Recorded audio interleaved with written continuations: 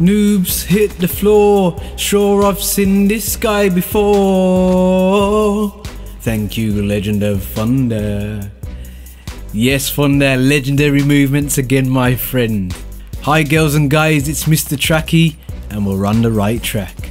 So, guys, there's been a lot of negativity around COD for the last couple years, and I've noticed sometimes it really gets me depressed. Really gets me depressed.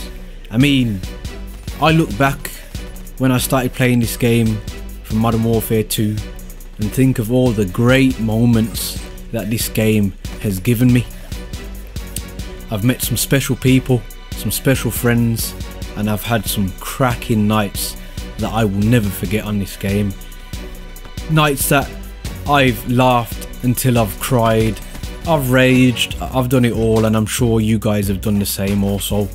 But what I wanted to get to today was the reality of what people are saying. I've heard plenty of people say, oh, I'll never play COD again if it's Space Warfare, this, that, if it's Ghost 2, blah, blah, blah. Now, me personally, I don't personally have an issue if there was a Ghost 2 on the basis that the last Ghost was done to fill a gap. It was cross platform, it was the old gen with the new gen, and yes, it was quite clearly smashed together just to get it out on the new gen as well. I don't think that game got worked on for a new gen console at all, it was just like a reskin.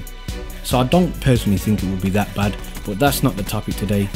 The topic is what if Call of Duty really did die tomorrow?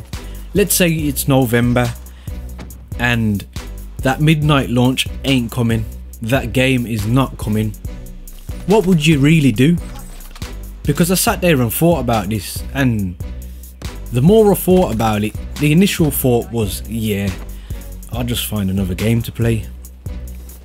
But the reality is, in my household, in my console anyway, and I'm sure there's plenty more people like this because my mates and my clan members are the same.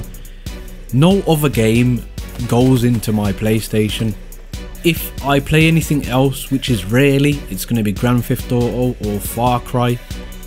I dabble in other games, but they just don't keep my attention like Call of Duty does. I don't get as much enjoyment, I don't get as much game time out of them at all. So I sat down properly and thought, what would I do without Call of Duty, gaming wise? And then the reality set in because this channel for a start will probably be dead. In fact, a lot of channels out there would be dead. A community would be dead. The fun times and memories, they would be buried. They would be dead also. And it would affect millions of people. And it's quite a stark reality. Now, I know people are probably watching this video thinking, what is this guy on about? But are you being genuine with yourself? Ask yourself the question realistically and think about it for about 30 seconds, let it set in, and think about everything it would be affecting. Because it's when I think about that, that's when I don't really feel like criticising an Call of Duty that much. Because irrespective of what it is, what it comes with, and what it means for me and my life is a good thing. Guys, that is it from me today. If you could pop over to my channel, that would be highly appreciated. And as always, guys, don't forget to stay on the right track. Peace.